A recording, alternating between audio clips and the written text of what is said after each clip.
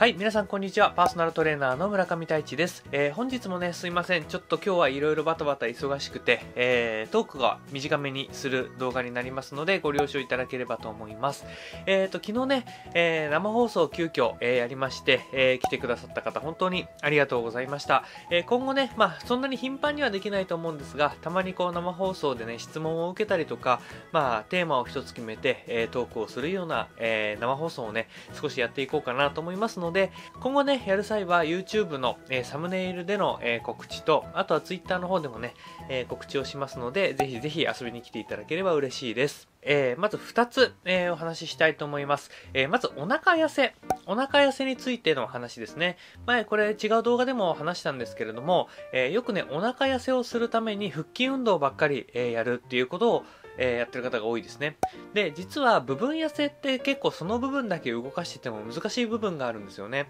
なので、えー大胸筋とか広背筋とか足とか、えー大きな部分を動かすことで、えー全身にね、筋肉をつけて代謝を上げて、え気になる部分も痩せることができますので、え大きな部分に筋肉がついてることで、え小さい部分をトレーニングした時の効果とかっていうのも上がってくるので、え気になる部分だけをね、トレーニングするっていうのではなくて、え全身まんべんなく、えトレーニングをしましょうっていうのがまず一つ。それで、えトレーニングをするっていうのがまず大前提に置いといて、じゃあ、えーダイエットしましょう。っていう話になりますね。で、ちょっとね、こう、落としたいです。体をすっきり見せたいですっていう時に、えー皆さん何を目標にしてますか？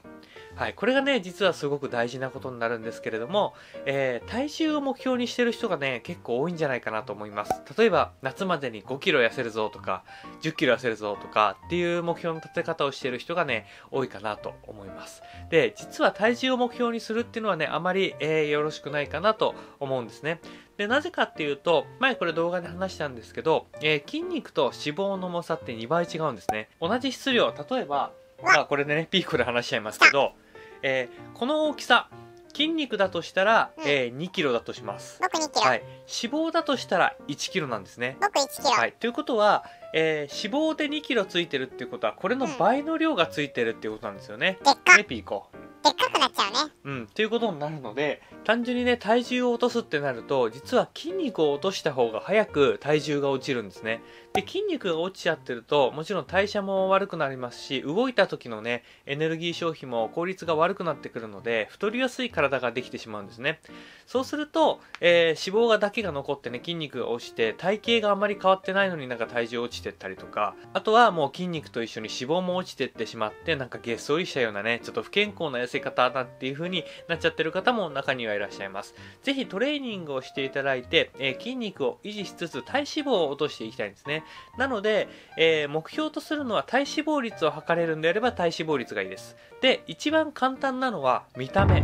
見た目を変えたいっていう意識を持っていくといいかなと思います。さっきの部分痩せじゃないですけど、見た目を変える意識で、じゃあ部分痩せ、お腹引き締めたいから、全身のトレーニングも必要だな。じゃあ全身のトレーニングして、腹筋も少し形作るために腹筋も少しやろうとかっていう感じがね、いいと思うので、えーぜひ体重じゃなくて、えー見た目、自分の体をね、えーよく鏡で見るように、えーしてみてくださいね。えー結構それだけでね、えー目標とするものが変わるんで、なんかやってんのに体重が落ちないなって悩んじゃってる方は、一回ね、見た目や体脂肪率と相談してみるといいかもしれないです。重さではなくて、中身の問題、見た目の問題っていうのが一番ね、大事になってきますので、そこを注意して日日々フィットネスにね、取り組んでもらえるといいかなと思います。ダイエットではなくて、えーボディデザインをする人っていうふうに、えー自分自身のことをね、考えてあげるといいのかなと思います。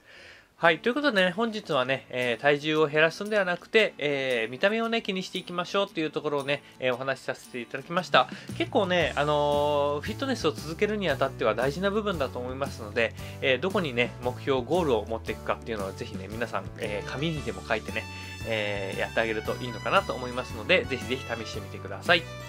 はい、本日もご視聴いただきありがとうございました。また次の動画でお会いしましょう。バイバイ。バイバーイ